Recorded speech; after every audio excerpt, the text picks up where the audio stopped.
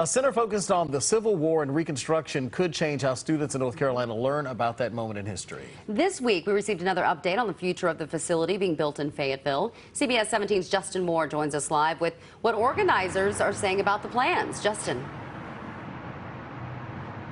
Yeah, next uh, Thursday they will break ground here for another phase of the project. And organizers uh, tell us that not only will this impact students, but it also will draw people to the area.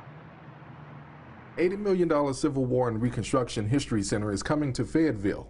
Because a history center will allow us not only to be interactive, as Max says, but tell a story. Organizers say the center will tell thousands of engaging stories about a very dark period in the U.S., all gathered by national scholars and historians. No other history center we found in the country that's going to focus on this period of Reconstruction like we are.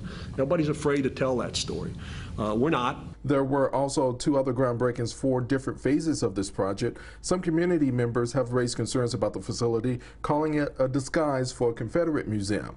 However, those with the center say that's not the case. It's very disconcerting when we hear uh, as we have heard, that we're going to develop, for example, a Confederate museum, which we have no intention whatsoever of doing. An economic impact study shows the state operated center could generate $18 million a year. We owe it to the next generation to be those people that we're not going to solve problems, but we're going to educate people on why his background is different than her background and my background and his background.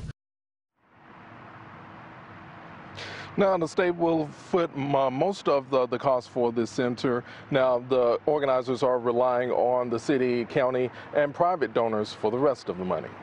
Live in Fayetteville, Justin Moore, CBS 17 News.